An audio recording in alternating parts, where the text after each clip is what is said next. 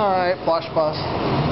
Going for Kenny again. It's just like last time. He's I don't know if I can get him or not. Just like I said, it's just Oh my god, stay. Got him! Yes! Awesome! Here's my prize for the day. Sorry, it's only 28 seconds long. I mean, sad.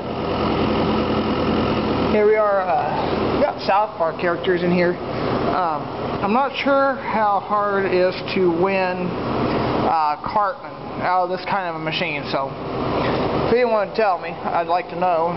Please uh, leave a comment below in the on the video. So if you like what you saw, please subscribe to my channel, and thanks for watching.